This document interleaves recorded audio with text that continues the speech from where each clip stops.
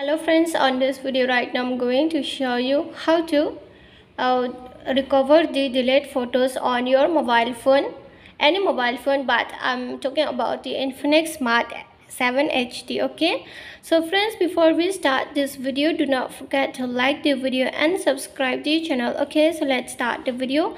So friends here firstly you have to move on the play store okay? Just click on play store.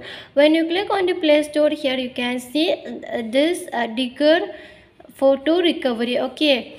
So you have to search for this recovery app and after that when you download this app just uh, click on after you have been searched just click on install and here it will be uh, installing okay? So it is downloading. So when it is downloading please uh, subscribe my channel okay and like the video so it has now installing and it has been installed. After that here you have to click on open. When you click on the open this will play okay? When after it has been play here you can see search for lost photos search for lost videos. If you want to search for the photos just click on search for photos okay? So here go to setting. After that here click on this. Allow access to manage all files okay? Just click on this icon. When you click on this icon just click on the back button okay? When you click on the back button it has been loading and these are the my delayed photos and videos. If you want to recover from here you can select okay? Suppose i want to recover the picture or the videos from here. Anything okay you just select this one. After you have been select here you can see recover option. So just click on the uh, oh, recover okay? This is the recover option oh, sorry.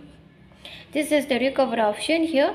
Wait i'll show you nicely. This is the recover. Just click on recover. After that here is the upload the files of ATV setups so this is uh, save the files to custom location on your we need to find. Will you like to recover the file so click on here after you have been select just uh, confirm your app log okay? After you have confirmed from here it says can use this folder. Create new folder okay? Then here we can create new folder uh, folder recovery okay? Recovery.